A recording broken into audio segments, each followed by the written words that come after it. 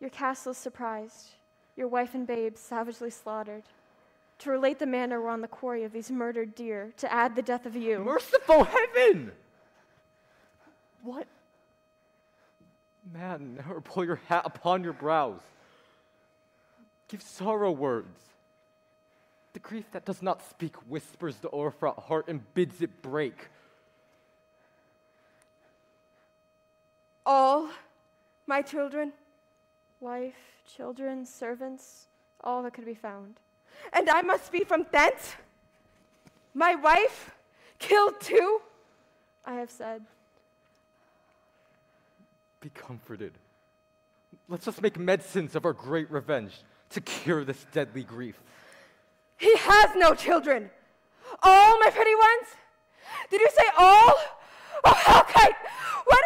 All my pretty chickens and their dam Dispute it like a man. I shall do so. But I must also feel it as a man.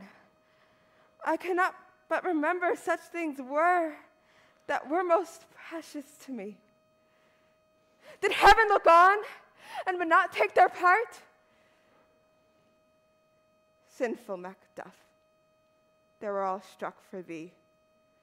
Not that I am, not for their own demerits, but for mine, fell slaughter on their souls.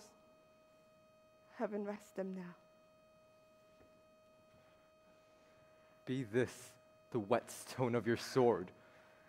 Let grief convert to anger.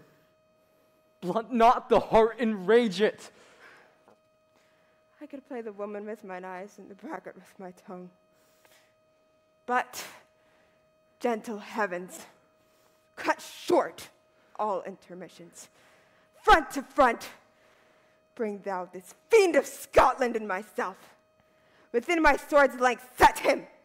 And if he escape, heaven forgive him too. This tune goes manly. Come, go we to the king. Our power is ready, our lack is nothing but our leave. Macbeth is ripe for shaking, and the powers above put on their instruments. Receive what cheer you may. The night is long that never finds the day.